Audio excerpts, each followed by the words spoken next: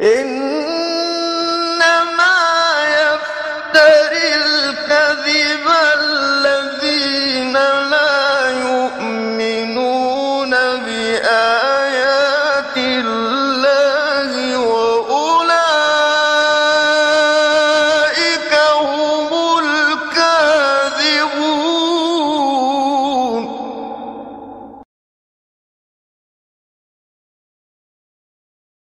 ابن اعصم کوفی از علمای بزرگ اهل سنته ابن اعصم کوفی از علمای بزرگ اهل سنته ابن اعصم کوفی از علمای بزرگ اهل سنته میگه طلحت ابن عبید الله آمد برای شما با عثمان مذاکره کرد گفت که ان الناس قد صفحوک و کرهوک لحاظه البدع والاحداث التي احدثتها ولم یکونوا یعهدونها.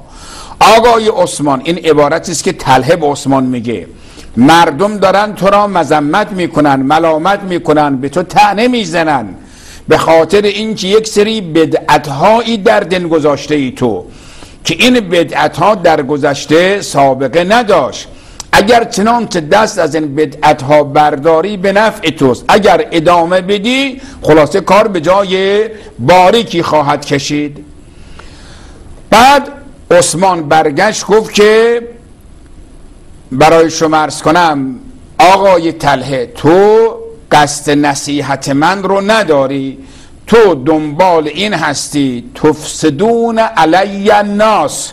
مردم رو داری علیه من تحریک می‌کنی مردم رو علیه من بدبین داری می‌کنی.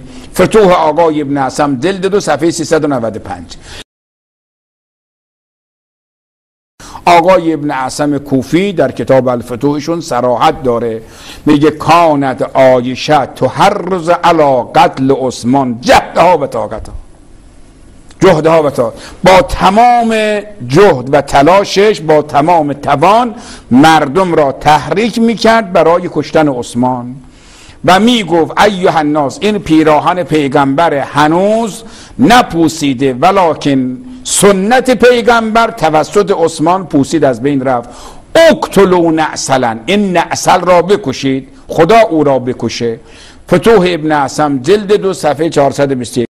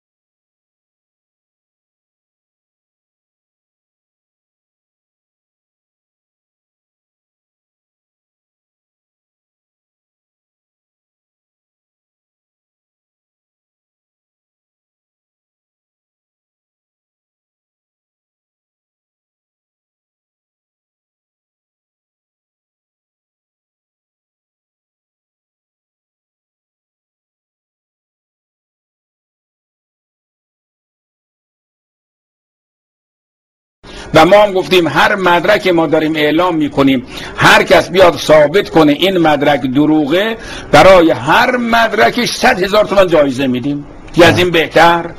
دیگه این دیگه تحدیست دیگه برای شما ارز کنم تعارف هم ما نداریم.